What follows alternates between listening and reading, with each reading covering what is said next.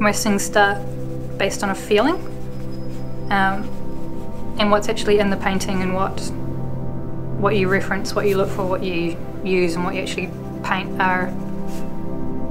kind of trying to point other people toward the same feeling.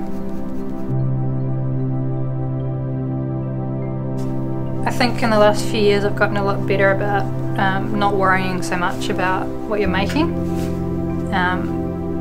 because you realise that you're not extremely critical of everything everybody else makes so the chances are they're not really nitpicking everything you're doing either. I think through having enough paintings go badly